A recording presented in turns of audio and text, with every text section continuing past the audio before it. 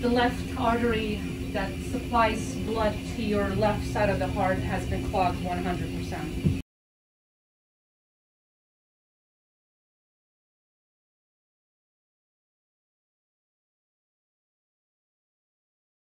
What's up guys, Derek, moreplates.com. Today we're gonna be talking about I Almost Died by Kali Muscle. So he actually ended up having a heart attack at the exact same age as Shawn Rhoden on the exact same day.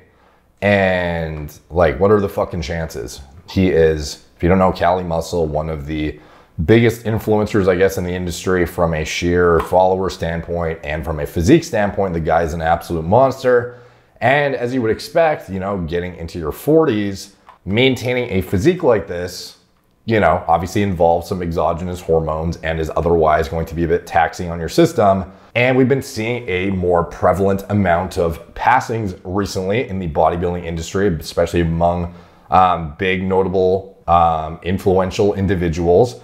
Now, why is that exactly? So we're gonna be talking about increased clotting risk, preventative medicine. We're gonna be talking about a few things. And as far as Kali Muscle, we're gonna be talking about the main underlying factor of what actually happened to him. Is it, you know, the clotting? Is it the this? Is it the that? What could he have done to prevent this? We'll get into that shortly. Yo, what's up with it, guys? Your boy, man, had a heart attack. For years, man, I had a problem with uh, edema in my feet and ankles. And you know, I was younger, I didn't think much of it or whatever. But you know, uh, people used to tell me that's a sign of heart failure or whatever. I, you know, of course, being a tough ass, you ignore people saying that, like, man, I ain't got no heart problems or nothing like that. So I went to the dentist. Was that, Wednesday? Went to the dentist. Uh, and I didn't go all the way under, but I got anesthesia or whatever. Uh, so I got a, uh, what you call it? I got the uh, implant screw put in. Got a deep, deep clean. And what else? Oh, and a little tooth pulled. So I go home, was fine, took some meds. And uh, oh yeah, that was the same day, huh? That I went to the dentist. No, you went to the dentist and then The the, same- next day. Oh, the next day, okay. Yeah, but that's nothing to do with it. Yeah. And so next day I came home, took a Vicodin, I think, and chilled out and went to bed. And I got suddenly woke up uh, uh like chest pains. And it felt like heartburn. I had heartburn before in my life, so it felt like heartburn. So I went in and rushed in the kitchen and got some uh, whatever I could for heartburn. So it wouldn't subside, man, for like two hours. And uh, my girl, you know, she was trying to figure out what was going on as well. And after like two hours, she was like, I got to take you to the hospital. And, you know, I didn't uh, object. So we came to the hospital, they ran a test. And I mean, they was swift, man. Uh, we got to get you into surgery. Your uh, main, like main artery or something, clogged up. The left artery that supplies blood to your left side of the heart has been clogged 100%. It was 100%? Yes. 100% clog. So keep that in mind. So yeah. So it was clogged. So like I say, since a kid, I always had a problem with edema in my feet. Kind of ignored it. Got some physicals, and they would whisper some possible medical problems. Okay, so this guy, could he have seen way ahead of time that he has significant amounts of plaque buildup? Yeah, he could have. How could he have done that? Imaging. Did he have that done? Obviously not. This is, again, something we talk about all the time. Getting your blood work. Again, and even if you see your blood work, like how many bodybuilders are doing something about it when they see their totally fucked up lipid profiles?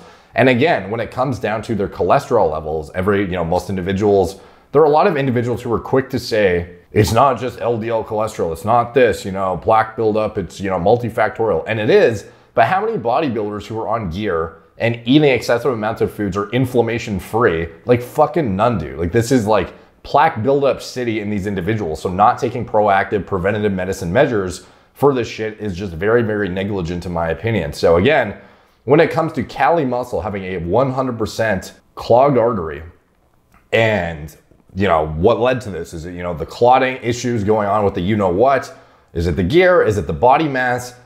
Or is it a combination of everything in unison with the fact that his diet is complete trash? Again if you are an individual who is walking around into your 40s trying to maintain bodybuilder level size that's going to be the most stressful thing on your organs overall in my opinion even above and beyond the direct stress of being on gear in general body mass is like a huge predictor of mortality. If you're a giant fucking human, the amount of oxygen, blood, nutrients, everything you need to supply your body, the demands on your body in general are so much fucking higher, you're going to die much quicker. Any individual, how many bodybuilders have you seen that have tried to maintain their size pass away early? These are the individuals that end up, you know, kicking the bucket or whatever the saying is far too early and far too young. You have Nasser El Sonbaty, you have uh, Greg Kovacs, you have so many of these individuals that try to retain their mass, pushing into like you know late 30s, early like even late 30s sometimes, mid 40s. These individuals end up shortening their lifespans very significantly, and it's not necessarily just the gear; it's the sheer body mass. Now, again, though, with a 100% clogged artery, could he have found it earlier? Did this have anything to do with you know significant amounts of clotting? Obviously, clotting is one of the factors that's a something to be concerned of potentially with the you know what going on. However, again, being proactive about shit. Get a D dimer test when you're getting your biomarkers checked next time in your blood work. See if you have increased clotting factors in your body. See if you are at risk. Start having, again, we're gonna get into some of the preventative measures shortly, but again, with Kali muscle, is this just the gear? Is it just the fucking being jacked as hell? Or is it also that this guy has a complete trash lifestyle at the end of the day. If you think that you're going to be free of plaque buildup when you're doing a super inflammatory sport like bodybuilding, that's just like so problematic from so many different aspects. And then you're also posting shit like this. I ate one of everything at Arby's. One of everything, bro. And yeah, you can maintain a good lean body composition that looks great when you have this much muscle, even eating like ridiculous amounts of food, because that's like what it takes to fuel the machine but it's not going to be good for your heart. I eat every food at Panda Express. Like this guy does ASMR like fucking mukbangs, eating like trash. Wendy's eating one of everything, mukbang. ASMR, Burger King, Whopper Burger, French fries, milkshake, keep it real meals. ASMR mukbang, Domino's pizza plus stuffy stuffed cheese bread, chocolate lava cakes, delicious chicken. Ch- Church's fried chicken, gravy, fried okra, lemon pie, mukbang. So yeah, like eating like this, even if you are not on gear and you're totally natural, guys who are obese are going to be dying in their 40s and 50s eating like this all the time too. So if you compound this on top of gear, on top of being way too large, on top of all of the different factors, yeah, like this is not having a 100% clogged artery is a totally preventative thing by not eating like this, by not having a highly inflammatory lifestyle and eating like fucking garbage at the end of the day. Like this was unfortunately something that could have been totally like it's for I don't like I don't know. Is it fortunate or unfortunate? Like it's an educational moment that I think people need to realize just because you're in your 40s, like the age does not make you immune to the factors of like the gear, the fucking lifestyle, the body weight, the bad food choices. Like they're all going to compound. And with Kali Muscle, like he had so many different things layered on top of one another that were like beyond suboptimal. Like it's one thing if you're having a super clean, super perfect diet and lifestyle, and then you're also using gear and you're trying to be a large body weight. That in itself will fucking kill you at like, you know, 40 to 50 potentially if you're trying to stay massive as hell. It's entirely possible. With him though, adding this into the equation, like having a clogged artery at that age, with everything else included, all the other factors accounted for, honestly, not very surprising if you're not doing anything about it. And the fact that he's discovering it now shows that there was no proactive imaging done whatsoever to try and uh, get ahead of it. And if he did notice it ahead of time and you had you know noticed it when it was fucking 50% or whatever, like do you think he would have been posting these videos as recently as fucking 2021? Like obviously not. He had no idea this was coming and just hit him like a fucking truck. And this was not something that was caused by you know, this is like a ticking time bomb waiting to happen. It had it wasn't the result of the fucking you know what or you know the gear and everything obviously compounds on top with the inflammation, the whole sheer body stress in general. But again, Like there are fat guys who were dying too, doing this exact same type of stuff.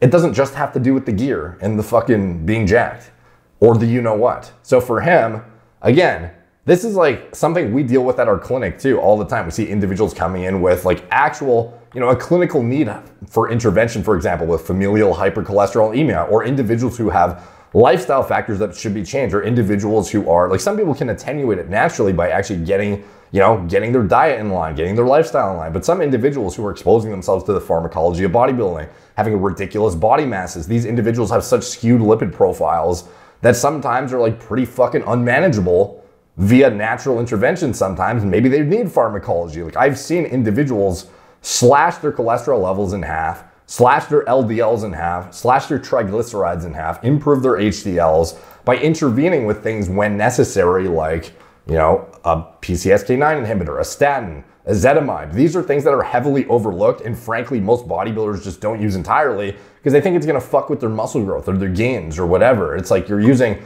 grams of fucking exogenous hormones, and then you're worried about what's gonna happen with a like small dose of a statin and ezetimibe like, bro, this is what's going to prevent you from getting a fucking clogged artery at 46 years old, as well as not, it doesn't exempt you from eating like this, though. Again, this is a large reason why he's where he's at, as well as all the other factors mentioned. But again, a lot of people, you would find this out ahead of time if you're proactive about not just blood work, but organ imaging, getting high quality medical oversight. Again, this is shit that is happening because people just aren't taking their health seriously when they're doing stuff that's highly risky at the end of the day. So again, some other things, like when we're talking about the clotting factors and whatnot, I still think that maybe it might have expedited things. And yeah, I'm acknowledging that there definitely is something fucking going on with uh, like we've seen the clotting issues when it comes to the uh, the pandemic and whatnot. And that's definitely something to take into account and be mindful of. And hence why, like, even personally, um, the REDUCE-IT trial showed, you know, very, very substantial improvements in um, overall, like, mortality metrics when you use, I believe it was four grams of EPA per day. So for me, I use a very, very high dose of a highly concentrated um, omega 3 supplement personally to keep my blood thinner. Um, as far as aspirin goes, a baby aspirin, is that something you should be doing? Like, again, if you're a bodybuilder, again, if you want to be proactive about shit, like actually check your clotting factor um, biomarkers in your blood work and see where it's at. If you have no idea and you're worried, like fucking check it out. If you want to see if you have any development of plaque, like go check it out. Get imaging done. Don't just like take shots in the dark worrying and address it properly. Be proactive about this stuff. Like again, even like overlooking basic things like blood pressure modulation, overlooked sleep apnea, shit like this that bodybuilders are so prone to and go, like some people don't even address that. And that's like very, very basic shit. Um, it's so like, it's no brainer stuff. Like you shouldn't even be in this lifestyle if that's not something you're looking at like day one, if you're going to be exposing yourself to exogenous androgens or just being a giant, large human. Like these are factors that are going to crop up almost like undoubtedly in many scenarios, like just by sheer like mass of your fucking neck, for example, um, the amount of weight and stress on your organ systems, it's all problematic. And the amount of food that you have to ingest too, it's not something you're going to have zero fucking inflammation from. It's not something you can necessarily just have a, you know, like maybe you're one of the, you know, hyper elite individuals from a genetic aspect and you have certain, you know, protective polymorphisms and whatnot. But most people who are in this lifestyle are following a fairly inflammatory and problematic lifestyle that will probably need something like an ARB something like an ezetimibe, something like potentially a beta blocker in some cases, as well as proactive imaging, regular fucking blood work, a high quality doctor in your camp who actually understands what you're exposing yourself to and how to attenuate the risks. And again, when it comes to the clotting and whatnot, like get your fucking D-dimer checked. Leo um, from Leo and Longevity, friend of the channel, been on um, you know the Super Physiological Man podcast. You've probably seen him many times at this point. He made a very very um, good post too recently, and this is something I've been discussing with him. You know, discussing you know clotting risk and whatnot. Um, he had discussed if this was actually an issue for somebody, looking at an actual efficacious medicine designed for this, not trying to you know use a fucking random over-the-counter supplement. I'm not saying again omega-3 multi multi-purpose in terms of its effect. Very, very useful, no-brainer addition. And as a side fringe benefit, keeps your blood a bit thinner. You know, a baby aspirin, is that something you're gonna be on for life? I don't know necessarily. That's something I don't necessarily want to expose my GI to long term, although it does seem to be um, potentially protective in a you know blood thinning aspect, a cardiovascular disease proactive management aspect to some extent, and maybe it would be prudent to do something like that. But that's something you should talk with with your doctor. But again, Leo put up a post with the recent deaths and people's obsession with blood clots, I notice a lot of people suggesting aspirin use for bodybuilders. If a bodybuilder did have a serious clotting issue, aspirin would likely be insufficient. Yeah, so if you think an 81 milligram baby aspirin is gonna protect you from a fucking blood clot, highly unlikely. Instead, consider asking your doctor about low molecular weight heparins like Pfizer's Fragmin, taken by subcutaneous injection and monitor D-dimer on blood tests. So again, Instead of wondering what's going on, like fucking check. Do you have clotting going on right now? Is it in above the reference range? Is there something that looks problematic? L- like check it out, dude. Don't wait until you have 100% blockage and then have a fucking heart attack and then try and look back and see like where you went wrong. Um, and he mentions a medicine here called dalteparin sodium, low molecular weight heparin, marketed as Fragmin. Something to potentially bring up with your doctor if you were actually very, very concerned about the clotting issue. So again, like actually taking a real fucking measured, practical approach to this shit, using protective medicine when warranted, why bodybuilders aren't using things like telmisartan regularly, why individuals aren't using things like ezetimibe when they have totally fucking skewed lipid profiles, when they're eating like fucking this, bro. Like what? Like it's a no-brainer. So for me, um, this is just another um, case of accumulation of risk over time. Like he's 46, and I, that seems very young, and it is very young. But ultimately, is it you know the bodybuilding lifestyle? It's also the fact that he's just fucking a massive human who eats a shit ton of bad food. Look at the metrics of obese people dying. It's not like totally wild to think that a guy's gonna die in his 40s or 50s when he eats like like badly and also weighs a ridiculous amount. You know? And his lipid profile is completely fucked. And he's totally ridden with inflammation on a regular basis. And he has gear on top of that. Maybe has sleep apnea too that's unaddressed. Maybe he has chronically high blood pressure. All of these things, it seems like, I'm not saying he was totally negligent, but I mean, again, like this is a, fortunately for him, like he has another chance and this is a wake up call, but I think he's going to need to significantly downsize. I think this is one of those things, again, where unfortunately certain individuals, it almost seems like they become a ticking time bomb when the first one happens where it's like okay like thankfully they made it through and hopefully they fix their lifestyle and you know they get better. And then it seems just like you know a year later you know it actually happens. Like for him he's going to have to take significant measures in my opinion to attenuate his risk entirely or you know at least give him a better chance of making it and having a reasonably, you know, long, high quality life, I think he's going to need to downsize it very significantly. I think he's going to have to stop doing shit like this. I think he's going to have to start looking at some of these medications. I think he's going to have to start being very, very, very on point with his imaging as well as his blood work and um, take it fucking seriously. Because to date, you know, a lot of people haven't. And I think this, again, a lot of these situations are fucking scary to see, but it's a wake up call for people. Like having giant mega influencers who are you know, the epitomes of, you know, muscularity and, you know, living the sick lifestyle. You can't get away with it long term. Like 46 is young as fuck, dude. But again, this is not an issue that just happened because, like, randomly. This has been fucking years of accrual of risk building up over his 20s and 30s, living this lifestyle long term. This is not something that just happened because he eats like this now and because he takes gear now and the occurrence of the pandemic now. It's a a cumulative issue over fucking decades. Like getting a 100% blocked artery is not something that happens quickly. That is a very, very long term issue. So, again, be mindful of this stuff, guys. Be pre- preventative. Like, don't wait. You know, go get it checked out. Get your an elaborate blood panel and actually check biomarkers that give you more insight. You know, get your C-reactive protein. See where your fucking inflammation's at. Get your D-dimer checked. See if you have any clotting that is concerning. Get imaging done. See where you're at with your, you know, plaque atherosclerosis development. Do you have any? Do you have a fucking enlarged heart? Do you have any issues that you should be worried about? Do you have left ventricular hypertrophy? What's your blood pressure like? Do you have chronic sleep apnea that's unaddressed? Get this shit checked, guys. Again, like I'm not I'm not surprised, you know, unfortunately. Like people are like, what's going on in the bodybuilding world? Like it's fucking everything, dude. It's the same thing that's been going on, plus a little bit more. You know, maybe the clotting shit is pushing things over the edge a little bit for some individuals, but I mean, they were well on their way already. So be take it fucking seriously. Look at some of these medications, talk with it with your doctor, fix your diets, fix your lifestyles.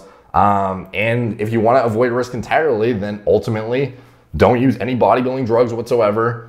Body weights, keep them more reasonable. You know, like no one needs to walk around at like 270 fucking pounds of muscle. Be preventative and proactive about your um, assessing your biomarkers and actually looking at organ health, um, blood flow, actually see if there's any blockages developing.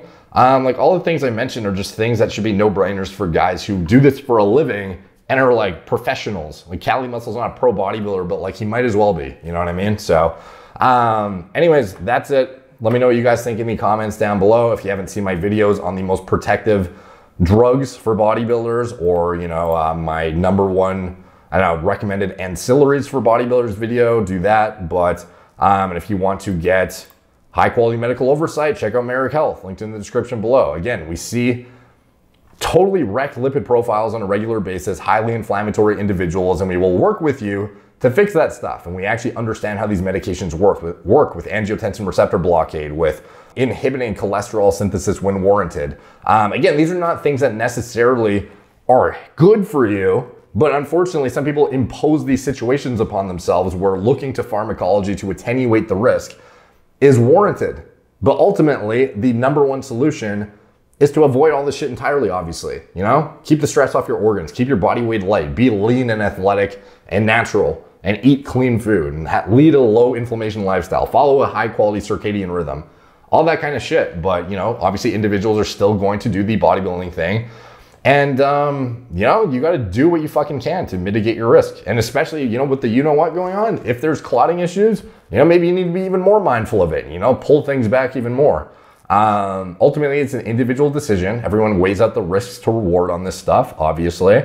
Um, and you do what you can. But I just think people need to be more educated about what they should be doing if they're going to be, you know, doing shit like this, walking around at 250 plus pounds, using gear in general. Um, like individuals who don't have, you know, basic pharmacology in place when they're also on copious amounts of pharmacology for muscle building, but then have nothing in place for managing their lipid profile, have nothing in place for managing blood pressure, for managing LVH, for managing all of these things that direct androgenic signaling, psychoactive activity on the brain, um, all that kind of shit that could be problematic down the line and lead to, you know, an accruement of issues that leads to it rearing its ugly head at 46. So, anyways, that's it. Let me know what you guys think in the comments down below. All the comments help the algorithm. Much appreciated. Like, subscribe, check out my blog.